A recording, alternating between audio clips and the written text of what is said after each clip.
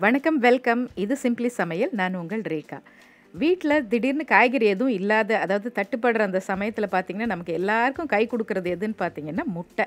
முட்டை மட்டும் இருந்துச்சுன்னா போதும். ஒரு ரெண்டு நிமிஷத்தில் நம்ம ஏதாவது ஒரு வெரைட்டி அதில் செஞ்சு நம்ம சைடிஷ்ஷாக அதை யூஸ் பண்ணிக்கலாம். அப்படி இன்றைக்கி நம்ம செய்ய போகிறது பார்த்திங்கன்னா ஜஸ்ட் டூ மினிட்ஸில் சூப்பராக செய்யக்கூடிய முட்டை பொரியல் ஆர் முட்டை பொடி மாஸ். இது ஒன்று இருந்துச்சுன்னா போதும். நம்ம எந்த குழம்பு எந்த ரசம் எது கூடவும் இந்த ஒரு பொடி மாஸ் வச்சா சூப்பராக சாப்பிட்டுடலாம்.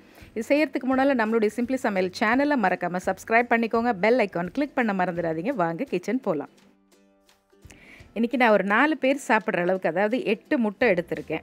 எட்டு முட்டையில் நாலு பேர் சாப்பிட்றதுக்கு கரெக்டாக இருக்கும். அந்த குவான்டிட்டிக்கு எப்படி இன்றைக்கி பொரியல் செய்யலான்னு பார்க்கலாம் ஒரு ரெண்டு பெரிய வெங்காயம் தின் ஸ்லைசஸாக கட் பண்ணியிருக்கேன் ரெண்டு பச்சை மிளகா பொடியாக கட் பண்ணி வச்சுருக்கேன்.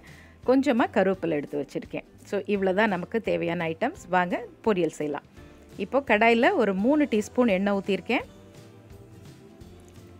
எண்ணெய் காஞ்சோடனே ஃபஸ்ட்டு நம்ம கருவேப்பிலை சேர்த்துடலாம். கூடவே பொடியாக நறுக்கி வச்சு ரெண்டு பச்சை மிளகாயும் சேர்த்துடலாம்.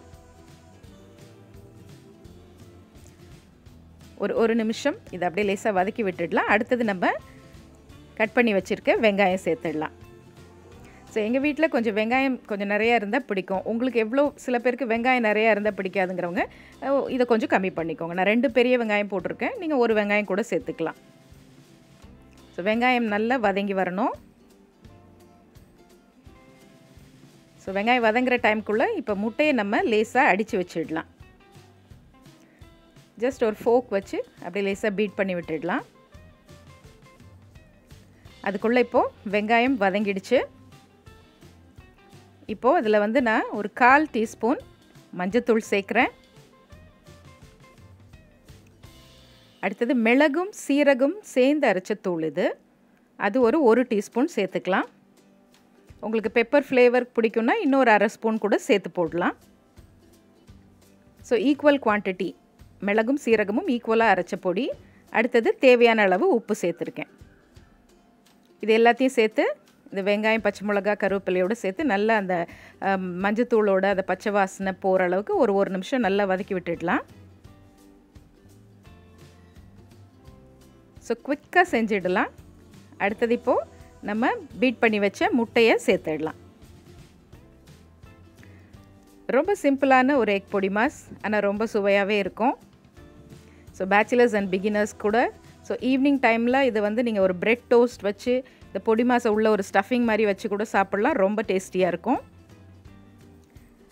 ஸோ இப்போ முட்டை நல்லா பொரிஞ்சிடுச்சு. சூப்பரான நம்மளுடைய எக் பொடி மாஸ் ரெடி அவ்வளோதாங்க ரொம்பவே சிம்பிள் ஜஸ்ட் டூ மினிட்ஸ்னால் டூ மினிட்ஸ்லேயே ரெடி ஆகிடும் ரொம்ப டேஸ்டியாக இருக்கும்.